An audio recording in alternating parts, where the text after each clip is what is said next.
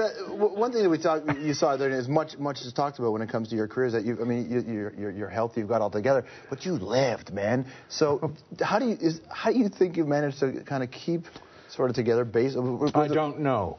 I think, I think, I think probably because I ate a lot. I loved food, mm-hmm. and that saved my life. Because all my drinking buddies in those days, and, and Peter O'Toole is about the only one left now that, that's still alive, and uh, he looks green. and I don't know, uh, he's still the same wonderful creature, but he, he doesn't, I don't think he has a liver. It doesn't eat, it; just goes through, I- right? yeah. uh, but uh, he didn't eat, you see. None of those guys ate very much. They, they only liked booze. Right. And I loved my food. I mean, I've got happily sozzled, uh, but I couldn't wait for a French dinner Yeah. to follow.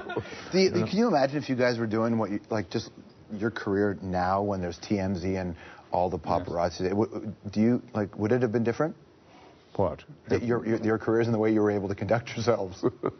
Yes, I, I think it would. I think they're much more straight-laced now than they were. I'd love to have been there in the 30s when it was a small town. Such creative stuff was going on there. Such great movies were being made, and it was a fun place to be. It was like a little provincial town that everybody and everybody knew everybody. There were bigger personalities in a funny way because there was more time for the personality to spread. Now it's so business oriented that it's everything is done in such a rush. Nobody sits down and really ha- has a leisurely time with life like that, like it used to be. I miss that. and enjoy the moment of it. But I also like the speed of things. It keeps me going. It keeps me forgetting that I am near death. That's the way you say it. It sounds all right, you know. Near death.